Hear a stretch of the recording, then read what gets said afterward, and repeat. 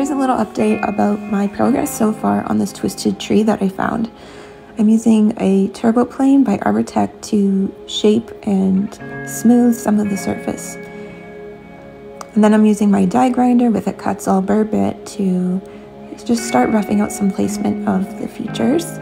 And I'm using a little mini belt sander to smooth some of that out here and refine it some more. And then I move to my desktop unit. I'm using a Foredom rotary tool to really start getting into the detail work of this otter. And you can see this is real time, see how slow this actually goes. And his, this is the progress so far. The face is almost done. And then I move on to the rest of the otter. What do you think so far?